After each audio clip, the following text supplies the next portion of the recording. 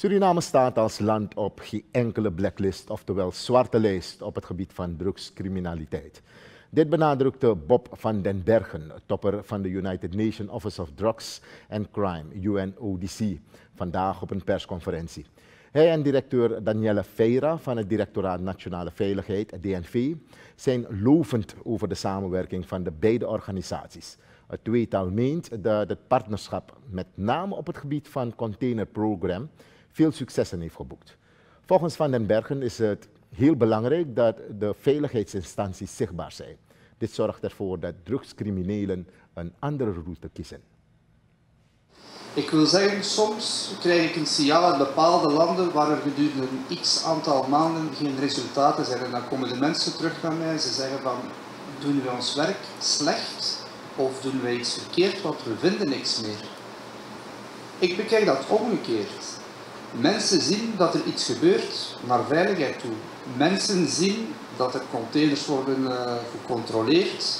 Uh, ze zien beweging op kaaien van, van mensen uh, die begaan zijn met het inspectioneren van containers. Dus in die zin zien ook criminele organisaties dat dit gebeurt.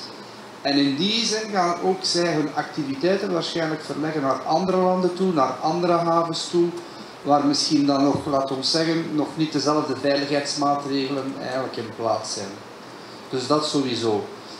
Anderzijds, Suriname op een blacklist? Nee, ik denk het niet. Hoeveel landen moeten we dan eigenlijk niet op een blacklist zetten? Ik wil zeggen, laat ons de hele Latijns-Amerikaanse regio afgaan en Caraïben. We zitten nu eenmaal in een regio waar cocaïne wordt geproduceerd. We zitten nu eenmaal met bepaalde landen die grote havens hebben, waar transshipment ook gebeurt. Je hebt de rechtstreekse verbindingen van scheepvaartmaatschappijen die inderdaad dus bepaald verkeer van containers faciliteren. Volgens Feira is het hoofddoel van zowel het DNV als de UNODC om de drugscriminaliteit in te dammen. Soms komt informatie net te laat binnen en dan uh, is, het, is de boot bijvoorbeeld al zeilende, al varende dan uh, zorgt men ervoor dat de andere kant de informatie wel krijgt. Om dan dus toe te slaan. Waar gaat het eigenlijk om? Je zou kunnen zeggen, waarom neem je dit primeurtje niet voor jou Suriname? Om het in Suriname te laten gebeuren. Waarom moet het lijken alsof het altijd gebeurt in Portugal of België of Nederland? Het gaat erom, ons hoofddoel is om de drugscriminaliteit in te dammen. Als het hier niet lukt tijdig, moeten we het elders kunnen stoppen.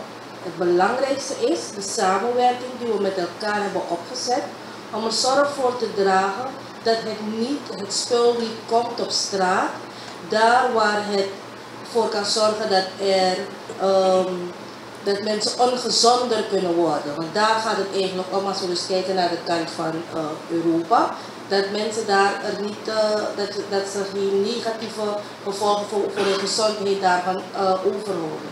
En voor de andere landen aan deze kant is natuurlijk dat wij niet geblacklist willen worden. Dat is dus uh, Daniela Feira, directeur van het Directoraat Nationale Veiligheid. Op een persconferentie is ze samen met Bob van den Bergen van UNODC ingegaan op de samenwerking van de twee instituten.